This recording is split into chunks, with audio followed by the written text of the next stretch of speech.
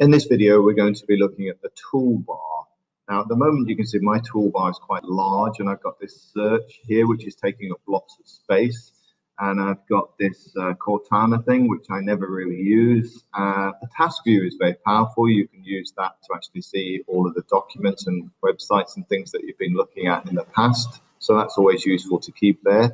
On this right in the corner as well, when you click on this, is a shortcut to actually take you to the desktop as well. You may not have known that.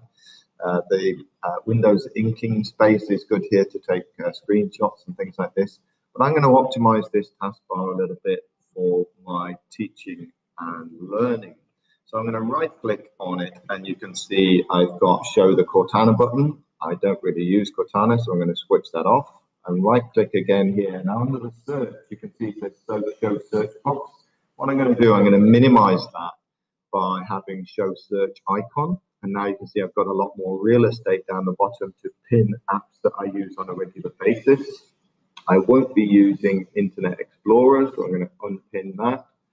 Uh, uh, the saw as well, I don't really use that that often, so I'm going to unpin that from the taskbar.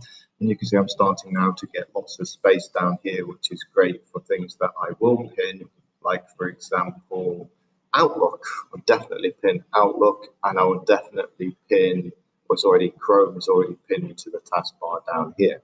I also like to actually make these icons smaller. So under the taskbar settings, you can see here, here is where you can automatically hide it as well. I'm going to use use small taskbar buttons and I can get a lot of things down here at the bottom. That's great. And I'm going to now minimize that. One of the things that I also like to do when you do minimize that, you don't see the date though, but if you just mouse over, you do get the date there. One of the things that I do like to have is a second date or second time on here.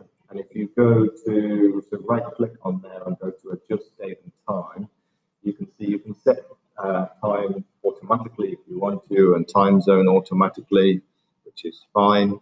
Uh, um, but what I am going to do is add another uh, show additional calendars. Here it is, add clocks for different time zones.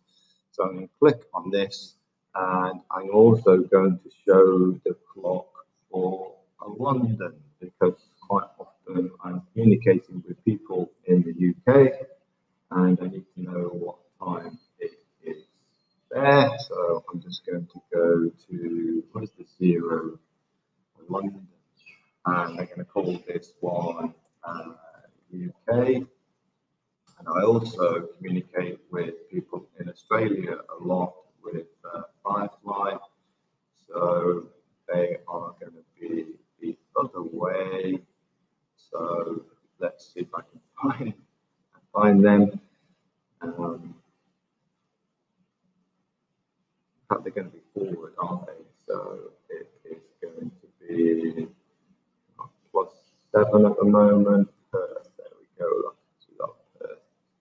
And Adelaide are in, fact they're in Melbourne, so I'm going to go to this one and I'm going to put here um, failure, click apply, okay. Just going to check the date settings actually for the date settings that I want, so that's fine. So now, when I mouse over here, you can see I've got my local time and I've got UK and Australia. Okay, I hope you found that useful.